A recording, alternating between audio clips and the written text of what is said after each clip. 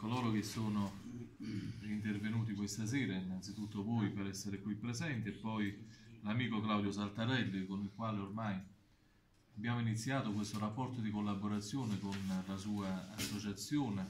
e, che, eh, con il quale abbiamo appunto eh, stipulato un protocollo di intesa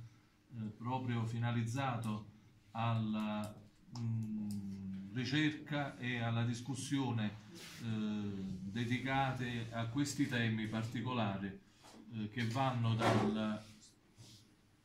dalla pre-unità d'Italia e anche il post, perché abbiamo trattato di brigandaggio post-unitario e di eh, situazioni e, e eh, momenti eh, che eh, il nostro territorio ha vissuto dal 1861 in poi. Eh, quindi grazie Claudio, così come ringrazio Fernando Riccardi,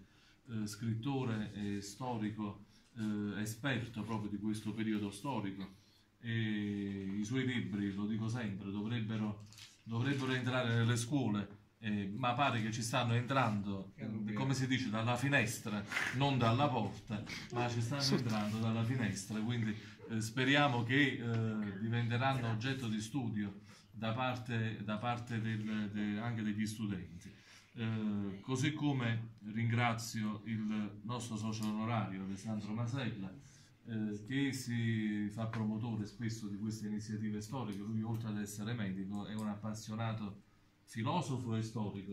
e con lui abbiamo già eh, svolto eh, incontri di storia e ne svolgeremo ancora ad altri. Eh, e ringrazio non per ultimo il nostro ospite, eh, il dottor Francesco Caracciolo, il principe Caracciolo, discendente di Casa Borbone, eh, e la sua gentile signora eh, qui presente eh, per aver accettato eh, l'invito ad essere qui con noi e a discutere di questo tema, l'avvio dell'industrializzazione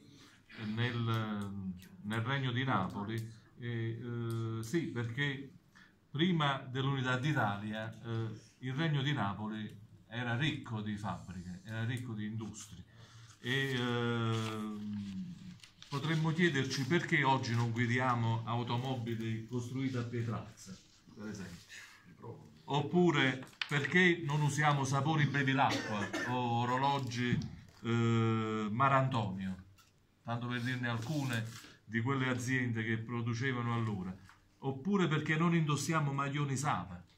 oppure eh, quali erano più o meno i prodotti che nell'Italia meridionale di quegli anni si producevano e che oggi purtroppo non si producono più. Quindi queste possono essere delle domande che potremmo farci e per le quali potrebbero essere utili appunto cercare delle risposte. Noi qui vicino avevamo, ecco mi suggeriva Raffaele, l'azienda dei Pannilana proprio a Cerrito che forniva la Real Casa eh, a Napoli, eh, ha fornito l'esercito borbonico, le divise dell'esercito borbonico venivano, venivano lavorate qui eh, a Cerrito, alla famosa tinta, di cui era socio della società eh, Antonio Massone,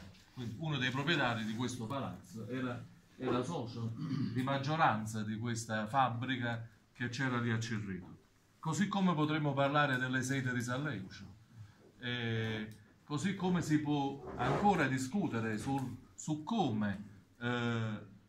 le fabbriche del Regno di Napoli furono influ influenzate dalle prime fabbriche che invece poi nacquero in Inghilterra perché il prototipo di fabbrica fu proprio, nacque proprio in Inghilterra eh, prima del, de, de, de, di arrivare poi nel Regno di Napoli. E così come potremmo dire la, la, la la svolta che ci fu proprio con le fabbriche del Regno di Napoli quando Ferdinando creò addirittura i sindacati.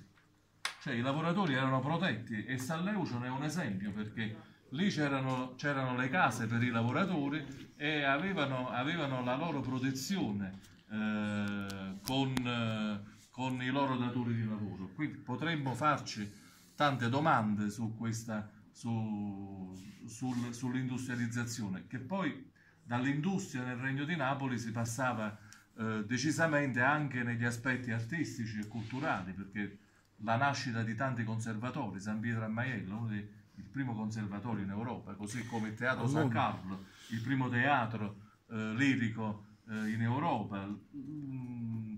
tante facoltà universitarie. Insomma, potremmo veramente allungarci in un elenco di, di, di, grandi, di, grandi, iniziative che furono eh, realizzate in quel, in quel, tempo. Ma ovviamente poi c'è, ancora oggi noi conosciamo il museo, appunto lo citavo prima, di Pietrarsa, eh, chi c'è stato ha visto come eh, la prima ferrovia, insomma, la Napoli-Portici, e quindi ecco, intorno a questo tema noi abbiamo ragionato e perciò abbiamo pensato anche di parlarne questa sera in maniera più eh, generica con, con eh, Francesco Caracciolo, eh, che io ringrazio ancora una volta e, e ringrazio voi qui per essere qui presenti. Grazie.